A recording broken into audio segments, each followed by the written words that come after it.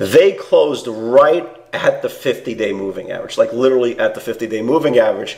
And it really does kind of setting, setting us up for a coin flip. Welcome to Access a Trader, the number one community for those who are committed to taking control of their trading in order to achieve success, profitability, and longevity. Thank you for joining us. Here's Dan Shapiro to help you find your edge, master your process, and own your future.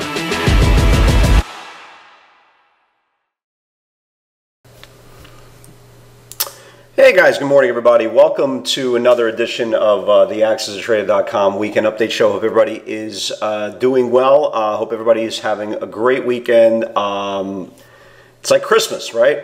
Opening day, well, official opening day of NFL kickoff today. Awesome day. I know a lot of you guys, uh, just like me, have been kind of really looking forward to this uh, in this COVID stage of life that we're in. It's like the little things, right, uh, that make us so happy. And I spoke to so many of my friends this weekend. It, it really is like uh, like Christmas for a lot of us. So uh, make sure this weekend, um, you know, this weekend, this Sunday.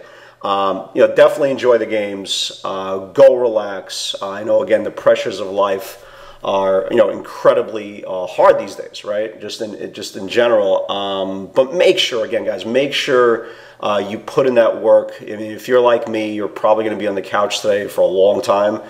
Um, you don't need to, you know, you don't need to sit there, um, you know, listening to every single word the announcer says. No matter what type of trader you are, make sure you know you have your charts in front of you. Okay. Um, the more you know, just understand this business, and, and you know, I, I talk about this all the time.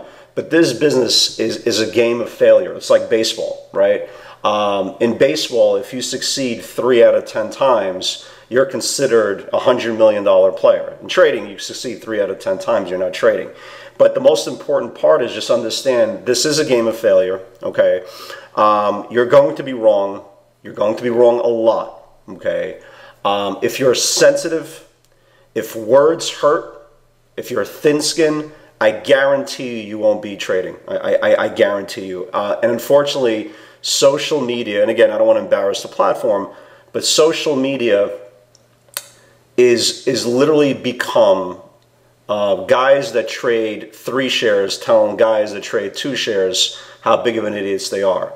And it's like a roundabout type of game. And if words hurt, if somebody turns around and says, the market looks like it's about to confirm lower, right? And we'll get to exactly what we're talking about. And you turn around on the internet you're wrong, man. You're an idiot, man. Right? Words hurt. You're soft. Right? It's like my, my daughter's uh, rec game yesterday. She had a rec soccer game.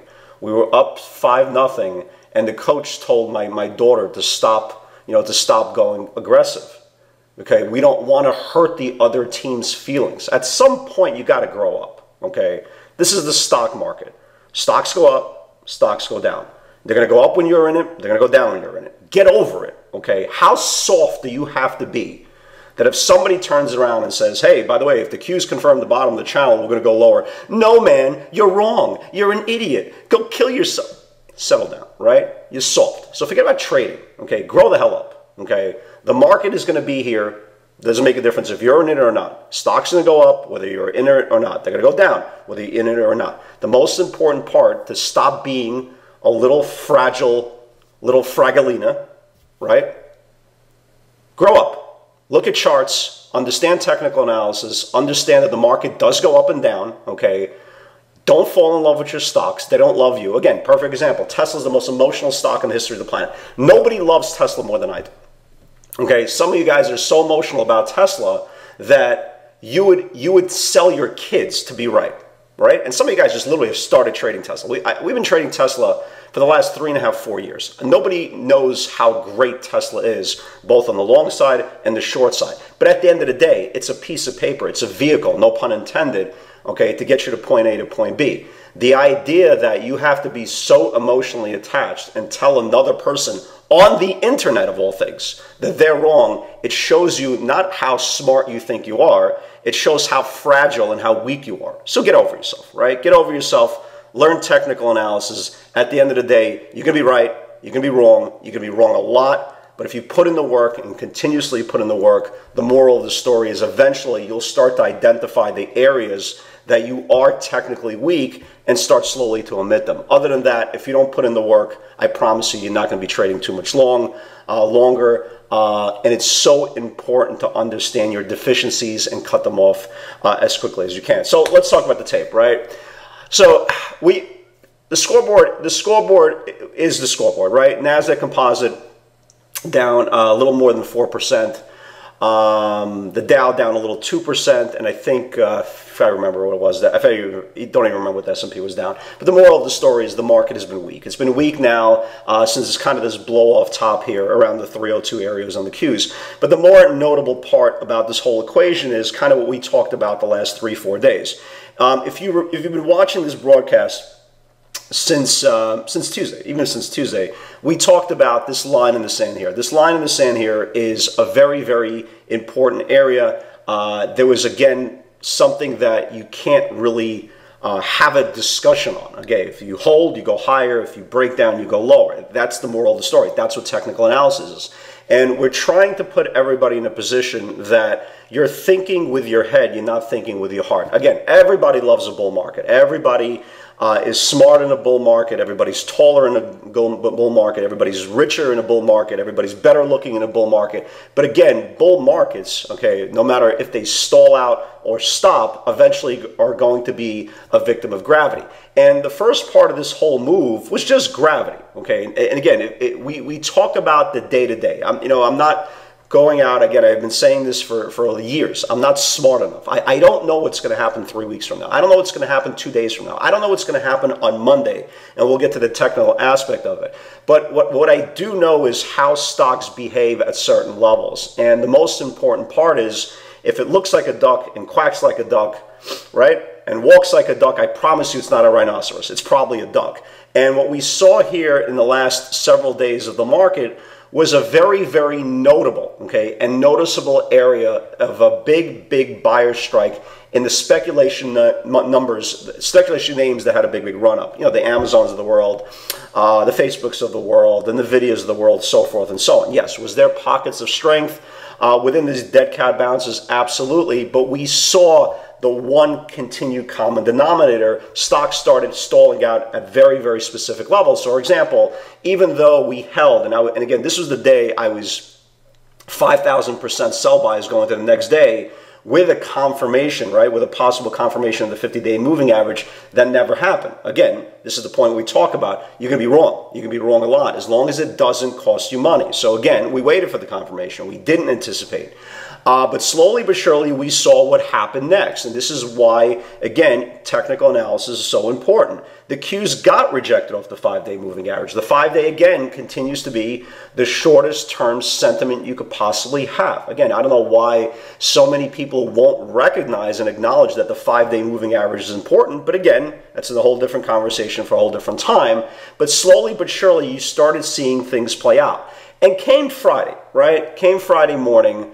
Um, very, first of all, very, very aggressive week. Uh, if you traded beta this week, you know how incredibly aggressive was, not only uh, to the short side towards the end of the week, but it was to the upside as well. Okay, again, interval by interval, trade by trade. Again, we're not trying to figure out what's going to happen next week. Okay, um, but Friday was different. You know, you know, sometimes you hear this expression, "This time it's different," right? It's usually um, it's usually a conversational piece every time. You know, it's like basically you're wrong for a long period of time, and turn around and say, "Well, this time is different."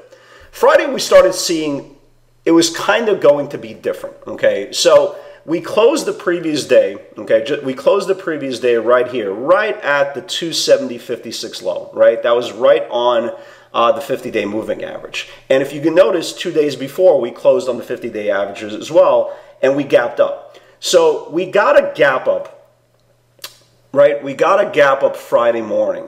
The difference between the Friday morning gap up and the, and the what we saw the previous day's gap up after touching the 50-day moving average, slowly but surely we started seeing this was very very very clean. We started seeing after 8 o'clock lower lows on the 60 minute on every single stock compared to uh, the day that we went up 650 points. The following day we touched the 50 day, things were taking out higher highs. So I turn around and say, this, you know, this time is different. And if you watched uh, the video um, on Thursday night, I wasn't going to put out to the market guides which way I was looking at, right? But I started saying, look, I'm not going to say which direction I'm looking at, but it rhymes with frown, brown, clown, right? Didn't want to tell the market guides which way I was looking at. So it was very, very important I didn't put that energy out there.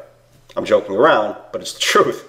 So we started seeing lower highs coming in over and over and over again. And when you're getting a channel that's this tight, okay, and you're looking at legitimately two things of uh, two pieces of information. Again, remember, trading is all about gathering information, gathering data. We knew we got rejected off the five-day moving average. We knew we closed on the 50-day moving average, and we started seeing lower highs throughout the pre-market. So these are all checks, right? These are all checks that the market was not going to explode higher. And oh, by the way, if you looked if you looked at every single chart of beta, the Amazons, Nvidias, uh, Apple, anything, Tula, Alibaba, you started seeing lower highs throughout the week. So it wasn't one of those scenarios that you turn around and say, well, I'm you know. I, I think I think that we're going to go lower, right? I think we're going to go lower, uh, but just in case, let me get some longs. I, I, I don't think I had any more. I don't think there has been a pre-market time that I've ever put in 100% sell bias shorts. Maybe one other time before. Maybe I think it was maybe when we had a blow off top several months ago, and we you know we had a, we had a pretty big waterfall. So Friday's session, uh, Friday's session, I was 100 to 800% sell bias. Right? I, I don't think I don't think there was any more. Um, I don't think there was any more room for interpretation. Um, I had all the data that I needed. Okay, I made my opinion. Now is just a, a series of events that needed to confirm. And the one thing, and I, again, I continuously talk about every single video. Again, it's not about being right. Okay, nobody cares. Not, it's not about being wrong. Nobody cares. It's all about being aware of your environment. Okay, and being prepared for the worst case scenario. And the most important part when I was sitting there, I always try to get a little bit of sentiment, right? Just from the idea of where, where retail is coming from. And I'm, I'm looking, you know, I'm looking at a, at a, at a, a, a social, you know, social, uh, uh, social media outlet, and everybody's talking about bears never learn, bears never learn, bears never learn, buy the dip, bears never learn. And I, have already gathered all this information, okay, and, and I, my opinion was very, very definitive. And I knew right away, there's, there's a reason, guys, okay, when you, when you trade with retail, you're to get retail results. And, you know, trading is all about, you know, putting your opinion and waiting for the confirmation. And once, once you see, and you could clearly tell, uh, these comments were coming from very, very new traders, like traders that were literally in this tape for the first like year, year or two, again, that never have seen uh, a potential waterfall. And the comments I made, I was even more, uh, I was even more put into conviction that this was going to happen. And slowly but surely, uh, we had one of the more aggressive, um, really, really aggressive uh, waterfall sessions. And the most ironic part was the, the big pull, right? There was a pull at the open, and I caught Tesla. That was the first thing I caught at the open. Um, I fought with it a little bit. Okay, it, I, I, got it once, and then it got me back, and then I really, really got it back uh, on the co- confirmation move into into rising into um, into rising support. But but the big big move uh, in these stocks they didn't come. Usually when you get a really aggressive flush, it's towards the end of the day. You know, after two o'clock when uh, wills are broken, people lose money, people are tired, especially on Friday. The big aggressive pull came at lunchtime came around 12 o'clock. And it was ironic because what happened next was even more ironic that we actually rallied back. And this was kind of the line in the sand. And again, if, we, if you've been watching this broadcast, uh, we talked about this in nausea for several days, is this 50-day moving average. And even Thursday's video, I said, look, we get below that 50 day, again, there is no room for interpretation. We're going to go lower. Okay, if the bulls hold, you're good. Remember that? You're good. You're good the Bulls weren't good. Um, market broke down, right? Market broke down. Uh, they took out not only the previous day low of uh, 270.56, they also took out the low of 269.56. And when I tell you this was an aggressive sell off, if you weren't trading Thursday or just weren't around around the lunchtime, you couldn't really appreciate how aggressive it was. But if, if you think about it, the Qs went from 270.56, right, the previous day's low, they went down $4, $4.5. You're talking about a $4.5 move within the lunchtime interval. Just really simply amazing. And you're, you're really not going to, to get a really good understanding just by looking at the 60 minute channel. But look at these candles. You know, if you trade the Qs and you understand a dollar move is a lot, right? Picture a four and a half, four dollar move in, within an hour within an hour of trading where most people went to lunch was pretty extraordinary. And if you look at the pivots, they were just literally one by one. Again, we were a thousand percent sell bias. Um, I kept on saying, I, I don't even want to, I, I, don't even want to look at the long side. There's nothing that I want on the long side. There's zero. There's no reason. Sometimes you get so overly convicted that you can get FOMO, but if you have that overly conviction feeling and you let things play out, usually good things are going to happen. So let, let's talk about uh, Friday's session. Uh, super aggressive, right? Super duper aggressive. Uh, Netflix, and again, green to red or red to green, they're not pivots. They're not mental, uh, excuse me, they're not technical areas to get into trades. They're all momentum. So, uh, but a lot of times when you're about to test major levels, you could do green to red trades or red to green trades, depending which way the, the market is going to set. But it's very, very important to understand that there is no technical safety net. In other words, if you're shorting Amazon green to red, understand they could take it red, right? Take it down to two, three points, and then rally up 30. So you really have to understand what you're doing when you're trading red to green or green to red. You have to have a very, very specific uh, area where the hell to get out. Even though I use uh, 60 minute channels to get into my trades, uh, it's very, very important to use the previous five minute high if you're short and the previous five minute low if you're, lo- if you're long, because if you get caught on a green to red move, again, there is no um, there is no safety net, right? Because again, it's not a real entry; it's just all momentum. So every time when I put out, uh, for example, on, on on the stream, you know, watch it for experienced trader green to red. There's always a very, very important area of technicals where it needs to build. And one by one, they started confirming. The only one that didn't work uh, was Boeing. And it was very, very odd because Boeing was, uh, I caught Boeing the previous day um, on the short side. Very, very odd. The stock is terrible, yet they held it up. Um, so Netflix green to red, again on watch note, this is not a pivot. Uh, 478.50, 478. If it builds below, can flush. Uh, here was Netflix, right? So here was the Netflix flush. Here was the 478, right? 478 and went all the way down to like 483. Excuse me, four. Uh, what number did I put in? Hold on, did I put in the wrong number? Uh, 478.50. Did I put in the wrong number? I might have put in the wrong number. 478. I might have put in the wrong number, guys. I apologize. Even though I think for those who did trade Netflix, I apologize. I think I put in the wrong number. It should have been 485, but if you took the 478, it only went down a couple points. So I apologize. I apologize about Netflix. Uh, Boeing didn't didn't work. Actually, didn't give you a second entry.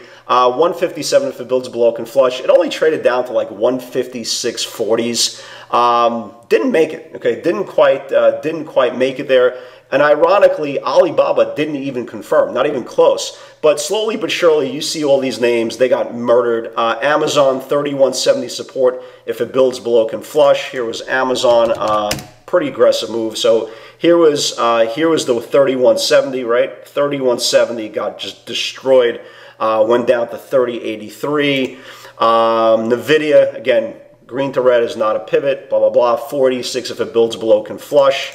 Uh, here was NVIDIA, right, one by one. So here was the 480, here it is, 486 here, 486. Uh, got down below 486, went all the way down to 475. Uh, big move there. Uh, Apple got smoked as well. Uh, 212, big area of support. Uh, if it builds below, uh, can flush. And that first move on Apple, it was like a flash crash. It really was. Um, if you look at Apple, here's the 412, right? Excuse me, held the 112 several times. See this channel here? 112 here, 112 here, and it traded right to support uh, at 110 very, very quickly. This becomes obviously a big area uh, going into this week, this 110 area, so we have to watch that as well. Uh, Facebook 266.50 if it builds below can flush right? Here's Facebook. Here's the 266.50. That was a previous candle. Uh, went all the way down to 262. Uh, pretty big moves. And considering you know, this came, uh, considering this came um, at lunchtime, it really did catch a lot of people by surprise. Again, in my notes were I'm going to give this the Bears every opportunity to confirm today. If we still don't crack by mid-morning, then we'll start looking at some long-term ranges. But I wanted to really give these bulls uh, I really wanted to give these Bears every opportunity to succeed. Uh, this was pretty good. I, I, I, had a good trade with Tesla. Uh, 375 at builds below can flush. Again, experienced traders only. Not every single trade is for everybody. So here's the 375.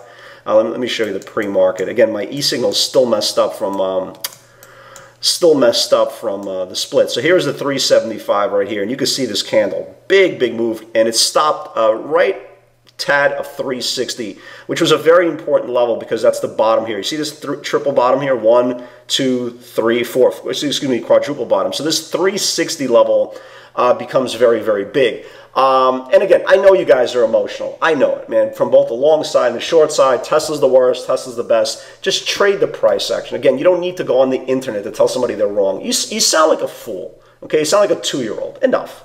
Really, you, you, and the worst part of it is you, you're telling an experienced trader you're wrong at the worst level that you could possibly long or short. So again, we love Tesla, right? We love trading Tesla, long side, short side. Uh, Elon Musk uh, came out and said some big announcements coming. The funny thing is, after he said the big announcement came, they actually sold the stock off $8. Again, everybody gets the whole battery event. It's cool. That's great. But again, price action pays much more than opinions. You see this whole area here? This is a huge area here, guys, going forward. Everybody see it? Right here. This whole area here. If this thing starts building below this area, then Tesla, I don't care what the battery day and the, the going to Mars and this, that, the other thing. And again, I love Tesla. I trade it both ways. But if we start losing this range here, we're going to test the lows uh, of, um, of September the 8th. So again, I understand that you guys love Tesla. I get it. I love it too. But it starts losing this, this range. Again, held once, held twice. If it, holds a, if it doesn't hold the third time, there's at least a $30 waterfall in the stock, so we have to be definitely prepared for that. But uh, Tesla was good, excellent, app, you know, perfect on, on Amazon. Uh, new lows, uh, new lows. And, and, again, this is where the selling... Uh, so we got, so we, we literally got that first pull, right? We got that first pull in some names. Uh, now he said, look, we need to see what happens next. And this was the big number, right? Any close under 270.50, it's a sell signal macro. That sell signal came right away, and we traded down uh, to tad under uh, three, uh, 267. So really, really big uh, pull there as well. Uh, Amazon next stop 311, it destroyed. Forget about 311, went down to 3083. And I said, here's the flush. You know, here's the flush. Uh, um, you know, again, oh my God is right. When you get a four dollar pull on on the Qs, I think that's a, you know it's it's pretty good saying oh my god, um, and that's it and that's it. So I think here's the tricky part kind of going into this week. So you got to give the Bulls credit for one thing. They could have completely died down after they broke 50 day support. Uh, they could have completely rolled over and died and said, you know what, it's Friday, who cares? We're tired. Let them, you know, let the Bears have their ways with us. But you had a huge rally, really, really big rally off the bottom. And the most amazing part is they closed right at the 50 day moving average, like literally at the 50 day moving average. And it really does kind of setting, setting us up for a coin flip, right? A really big coin flip uh, going into uh, Monday session. And, you know, as much as I had conviction for Friday's section, I can honestly say I have no idea what's going to happen on Monday. Okay, um, and you know I put some longs uh, on the feed. I put some shorts on the feed. Again, you have to be uh, definitely prepared for both sides of the market. There's definitely some good-looking setups. Uh, both long and short. So, for example, like uh, a workhorse, right? Workhorse actually looks pretty good, right? It held up very, very well. And if you look at the 60 minute channel, if it starts, you know, taking out this whole channel here, maybe it goes back to the highs. Um, so Workhorse looks good. Peloton, right? You know, Peloton had a big run, right? They sold the damn thing off. Okay, they closed it right at the 10-day moving average. If the 10-day moving average uh, confirms, it has more downside. So th there's definitely plays both to the upside and to the downside, but this is the one day going into tomorrow's session, I can honestly say, yeah, we could rally up 500 points. We could sell off 500 points. We, I, like, I have no idea, but you know what? That's okay. Okay, we're not pay, you're, we're not being paid uh, and congratulated for having an opinion. We're, we're, we're being paid for having that opinion confirm and see what happens next. So the idea that, like most of us, and I speak to you know all my friends all the time. You know, we've been doing this for a long time. Most of us have no idea what's going to happen on Monday. Okay, um, and that's okay. Okay, and that's okay. And I am you know pretty certain to say I'm going to let everything play out in the first half hour. Uh, more chances than not, I am going to start my day probably at the first candle of the day at 10 o'clock uh, and see what confirms, okay? Because again, for the bulls to get really, and these are kind of the numbers for the week, and you want to really pay attention for the numbers. Any close on the Qs above uh, 275 is bullish, or at least the buy signal. Bullish would have to clear out this whole supply here, but at least a baby step going bullish, right? So if we close above 275 on the Qs, right, that's at least a buy signal. If we close under 270 on the Qs, that's a sell signal. So you really don't have to fight with anybody on the internet saying buy the dip, sell the dip, you know, whatever the hell you want to do, right? You're an adult, okay? These are the numbers. These are the facts. You could take these numbers and, you know, be have use, useful guidelines where your next area of placing your bets, or you cannot, right? But it's up to you. You're, you know, it's your dime, your dance floor. Everybody's an adult. Again, 275 bullish. 270 bearish, yada, yada, yada. It's all good. Guys, have a great, amazing trading week. Um, enjoy yourselves. Smile. Okay. We only have one life, folks. Okay. We don't get any do overs. So the most important part is be a friend to yourself, be a good person, learn to smile, learn to actually like people. Easier said than done, but that's the point. Guys, God bless. Have an amazing Sunday, and I'll see you in the field tomorrow.